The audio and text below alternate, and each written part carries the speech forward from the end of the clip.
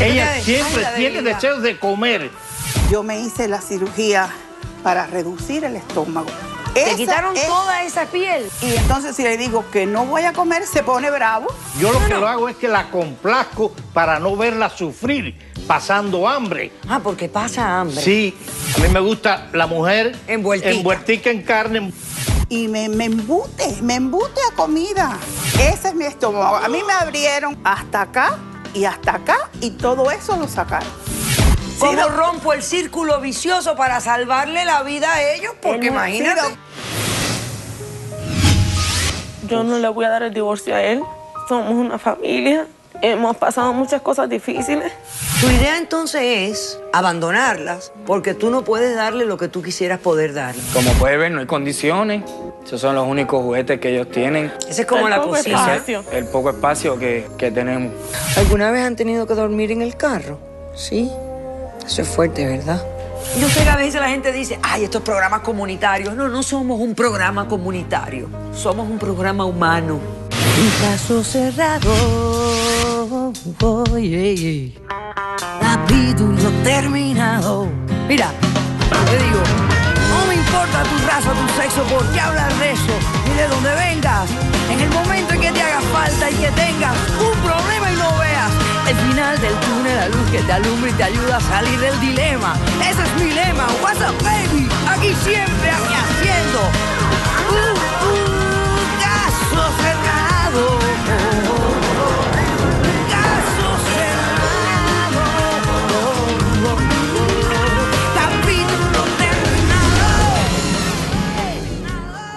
El escritor irlandés George Bernard Shaw dijo, no hay amor más sincero que el amor a la comida.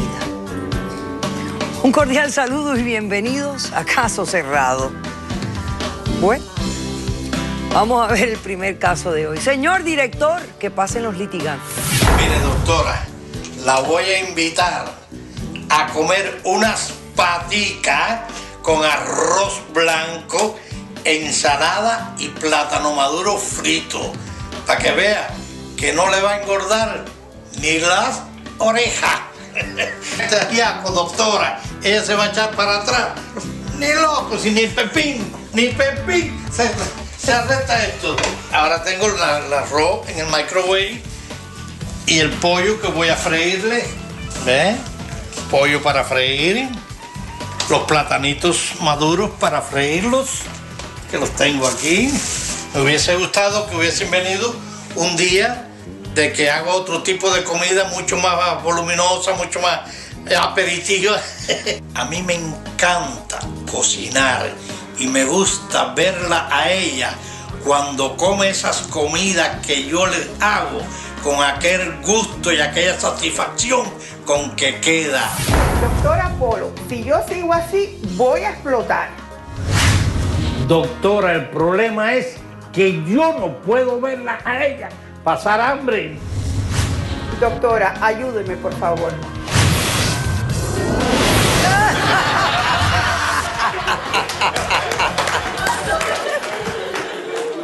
Ay, caray.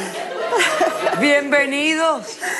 Muchas Creo que gracias. ese ha sido las imágenes de, de presentación más lindas que he visto yo eh, aquí en el programa. ¿Sí? Qué cosa tan simpática y tan Muchas tierna de gracias. su parte, pues ese besito tan, tan lindo que le dio a usted. Bueno, vamos a ver cuál es el problema de ustedes. Mirta, tú eres la demandante. Sí. No sé cómo vas a poder demandar a esta cosita tan linda que tienes aquí al lado. Gracias. Pero bueno, explícame por qué lo demandas y qué estás exigiendo para resolver tu caso. Sí. Primero que nada, muchas gracias por tenernos aquí. Gracias a ustedes por haber escogido Ajá. este lugar para resolver el conflicto. Ajá. Tenemos tremendo conflicto. Como usted ve, estoy yo sobrepasada de peso. Yo Estás peso envueltica en masa, como decimos los cubanos. Más que envueltica, yo peso 300 libras. Y tenemos el conflicto de que él eh, cocina muy rico. Él se la pasa en la cocina todo el tiempo. Y me, me embute, me embute a comida. Y cuando yo no quiero comer, se pone bravo. Y entonces, a veces yo... No está diciendo la realidad, doctora. No se preocupe porque usted No sí me va a decir la diciendo la realidad. realidad. Usted me la va a decir cuando a usted le toque. Pero vamos a identifíquese. El señor es su novio. No, no, no, el señor es mi esposo por 28 años, que lo adoro. Oh. 28 años de matrimonio. 28 años. Ok. ¿Y él es cocinero? No, pero le sale muy bien la, la comida y O sea, le cortar. gusta- sí. le Y- gusta cocinar. Y él me quiere complacer en todo y en- me hace natillas con panetela, eh, me hace flanes, eh, ensalada de pollo. Eso es punto y aparte de las comidas. De las comidas. Esas son las meriendas. Sí. y a mí, que me gusta comer, ¿cómo decirle que no?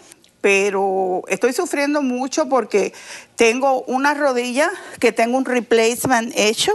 Se te ve ahí la, Ajá, la herida que te- sea de la operación. Esta otra rodilla la tengo malísima. Aquí estamos viendo fotos de cómo estabas vine yo. cuando viniste. Mira qué cosa más linda. Pero verá que él estaba delgadito. Sí. Ajá. Pero él no está tan gordo. No. No, él no se ve tan gordo. No, porque es que el que come de dieta soy yo. Ah, usted come de dieta. Yo le hago, yo le hago la de ella. No, yo- en mi casa se come parejo. Claro, todo Por el eso mundo- le quise decir que lo que se come en mi casa no, la comida no engorda. Quien engorda es la persona con el deseo que la come. O sea, que usted es de la teoría que uno puede comer lo que quiera, las cantidades que le dé la gana, pero siempre con una mente de que no te va a engordar.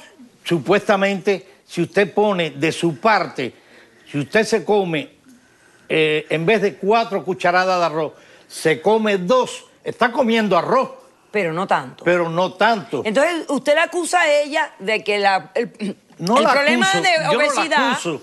Yo lo No, que no. lo hago es que la complazco para no verla sufrir, pasando hambre. Ah, porque pasa hambre. Sí, ella tiene momentos que yo la cohibo de comer. Eso Pero es cuando. a eh, Un momentico, papi. Por favor, déjame Esto hablar. es Déjame cuando, hablar. Cuando yo me pongo a dieta, doctora, me pongo muy deprimida. Porque es que el hambre mm, de mi estómago está acostumbrado a la comida. Eh, y estoy entonces en un círculo vicioso porque he bajado 100 libras con pastillas y a base de inyecciones.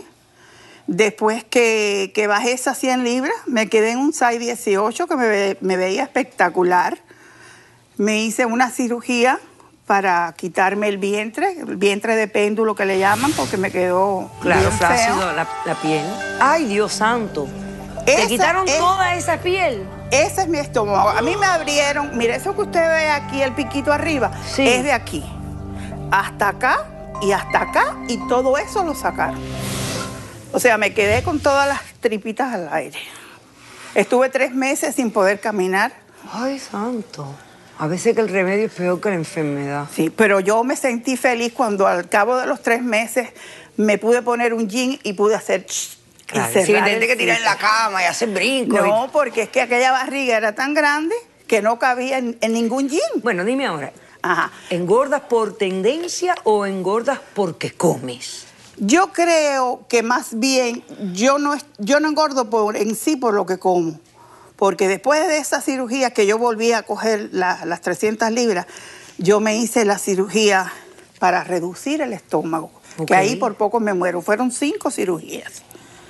Porque se me fueron los puntos. Ajá. Espérese, espérese un momentito. Voy a hacer un, un corto receso. A la vuelta me dices por qué casi te mueres con esa cirugía que hay tantas personas. Yo bueno, no ¿y qué ha mejorado con el, con, la- con el época? Regresamos después de este corto receso. ¿Qué piensas tú que yo te voy a hacer un garbanzo de dieta? Me coges por el cuello y, Y me dices como otras veces, no me gusta la comida hoy. Ningún plan dietético va a surgir efecto a no ser que se cambien los patrones. Por más que te llore y te patalee, tienes que ponerte duro. Yo quiero felicitar a la doctora Polo y que vuelva pronto para New York, que la queremos mucho, mucho, mucho, mucho y que Dios la bendiga.